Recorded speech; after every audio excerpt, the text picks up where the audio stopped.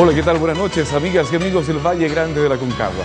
Comienza aquí uno de los proyectos más ambiciosos en telecomunicaciones de la provincia de los Andes a San Felipe. Tenemos el gusto de entrar a sus hogares en las 10 comunas del Valle de Concagua y también por señal de TV Cable. El canal de televisión VTV cumple 8 años de vida. Nació con más ganas que recursos y de a poco fue perfeccionándose, alcanzando el profesionalismo que hoy lo caracteriza.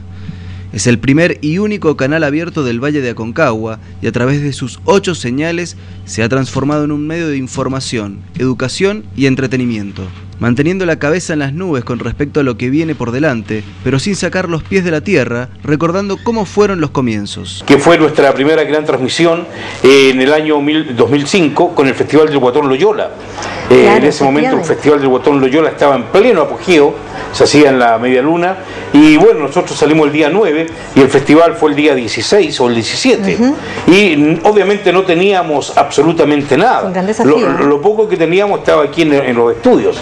Entonces se tomó la decisión de desarmar el estudio e ir y hacer instalar un estudio allá en la media luna para transmitir el festival y luego terminado el festival volver a levantar todo y traerlo para acá. La tecnología avanza a pasos agigantados, pero ETV no le pierde pisada y hoy cuenta con la distinción de transmitir en señal digital, siendo el primer canal de alta definición en toda la quinta región.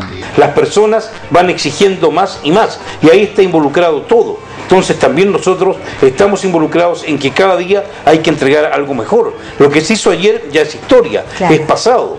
La televisión es un saco roto donde uno le echa, le echa y nunca jamás se va a llenar. Esto que estamos diciendo ahora es muy bonito para este minuto, pero ya mañana esto se terminó y ustedes tienen que llenar esta media hora con otro espacio, con otras personas y con otro contenido y con otro argumento, porque así es la cosa. Empezó siendo un canal familiar para transformarse en uno comunitario.